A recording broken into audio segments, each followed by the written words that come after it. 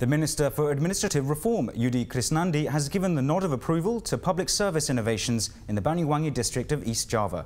Chrisnandi conducted an impromptu visit to review the facilities and services provided to the public.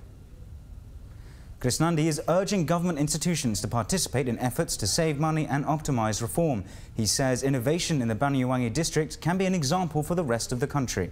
The Minister also visited other public offices, including the Integrated Permits Service Agency, the Sobo Health Clinic, Banyuwangi Traffic Unit and District Revenue Office.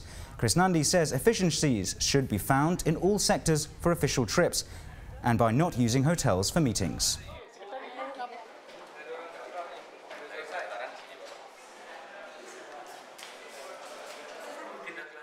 saya sedang kami sedang menghitung ya kira-kira yang pas itu berapa yang kira-kira kalau di tempat yang biasa cukup nggak bikin macet ya kita hitung. Yang pasti dibatasi. Nggak boleh sekarang ngundang orang nggak nggak karu-karuan sampai 3.000 orang kawinan diundang. 3.000 6.000 yang datang. Macetnya.